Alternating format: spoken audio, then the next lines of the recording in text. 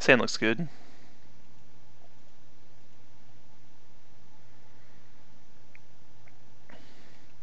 Uh, one thing I like about Stifle is that it forces the opponent to, to play around it, so now he's like cracking on his main phase. Uh, yeah, I'm just gonna go River of Tears go. That's not true, I'm gonna play this top.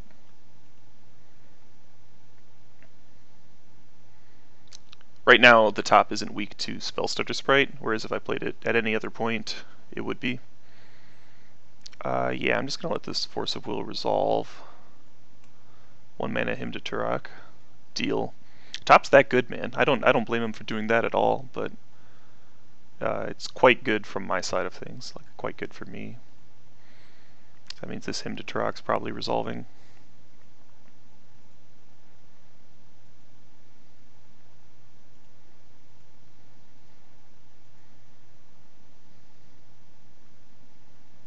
brainstorm in response. Kind of want to force that.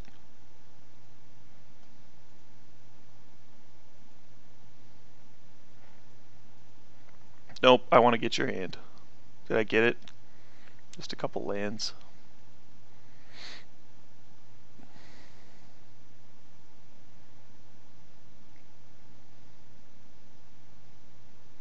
No!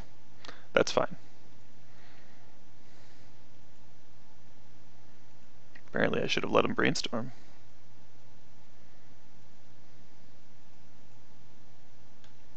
Yeah, we can just sit here for a bit. Like, I've got manlands and crap in my deck too. I don't think my brainstorm's gonna necessarily find me anything. Like, that's the only bit of gas I have in my hand is this brainstorm. Meanwhile, I can make land drops and he can't, so there's no reason for me to break the standstill yet. If I drew like a Planeswalker or a Crucible or, or something, then it makes sense to try and resolve it. Yeah, and so and like his first manland just gets eaten by this wasteland. Meanwhile, I haven't seen a, a wasteland at all out of him. So if I draw a manland, mine might just actually just be good. Force him to crack his own standstill.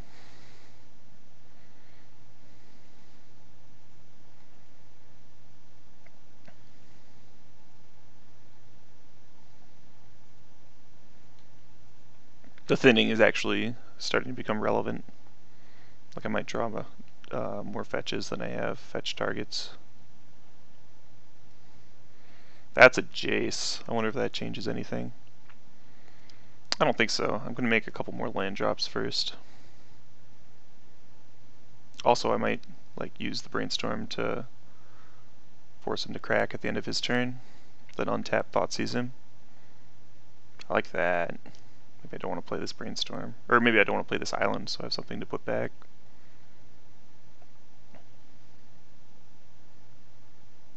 Yeah, I'm just gonna I'm gonna do that.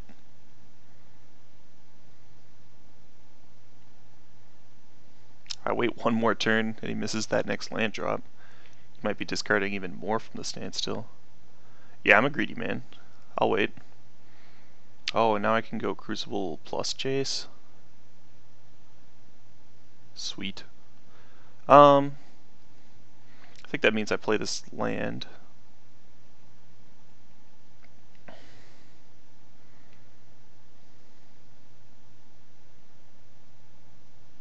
If he misses this one more land drop, I'll hit the sweet spot.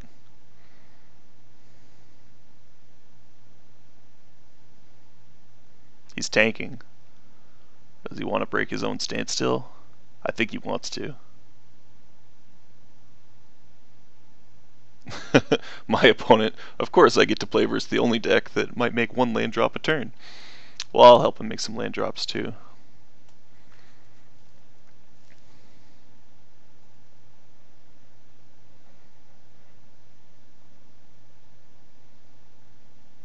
Deal.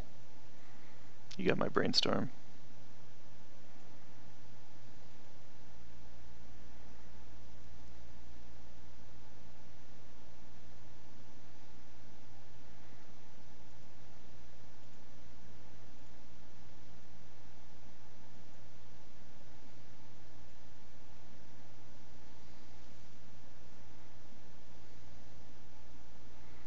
Oh my.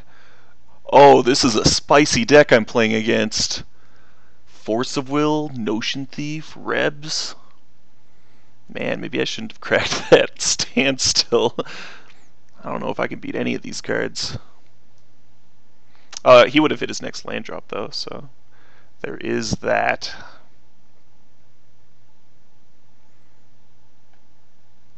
I think I go Crucible, and if he lets that resolve, I like waste him and then use the waste as my land drop. Like you might let it resolve just hoping to abrupt decay it. Uh, I think I take red elemental blast out of his hand. Yeah. Yeah, that makes sense.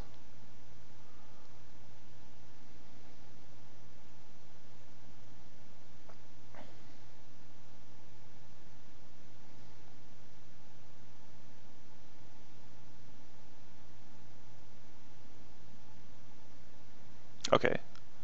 He smartly forces. That means the abrupt decay in his hand is pretty dead. One of my deltas needs to fetch a swamp so that this Misty can fetch a land. Because I already have the basic island out of my deck.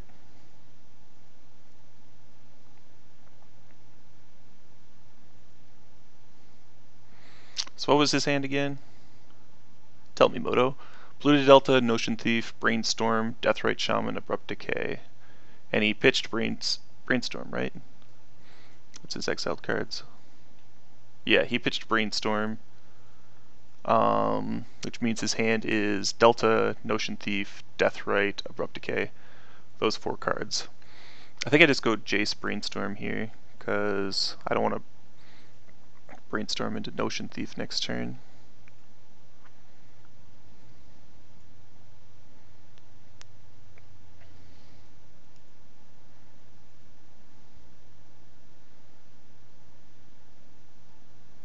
That seems good. That seems very, very good.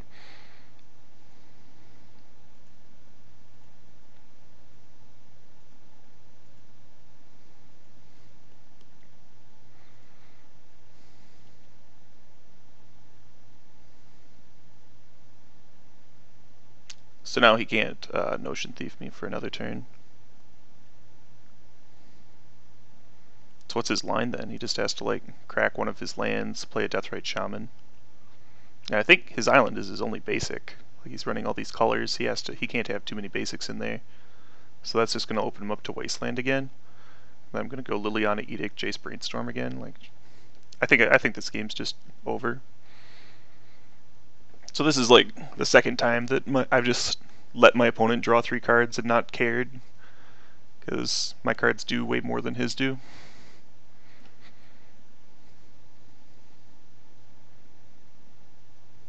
Uh, I think I'm going to go lead off with Liliana Edict. He'll sack this, then I waste him. Doesn't really matter. Well, maybe I should use Jace before I do anything else. See what I draw into. No, I want to see if the Liliana resolves before I decide what to do with Jace, because if he like counters the Liliana, then uh, then I would need to like Fateseal with Jace.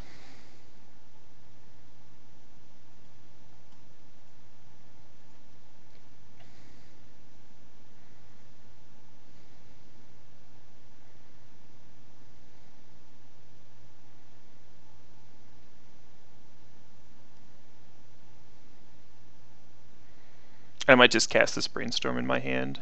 Um,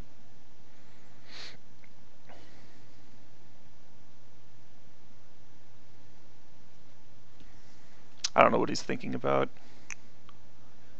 Seems pretty clear just to sacrifice the Spellstutter. Maybe it's less clear because I haven't wasted him yet. I, I don't think it matters.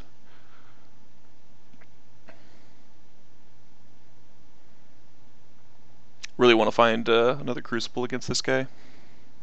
Oh, well, I guess he'd had enough. So, my opponent with Notion Thief, uh, Red Elemental Blast, and then Spellstutter Sprites, and all these other, like, instant speed disruption, still just loses to a Jace, who knew that Jace was good? So the only reason I was able to play through all of the that uh, very specific disruption was because uh, of the Thoughtseize.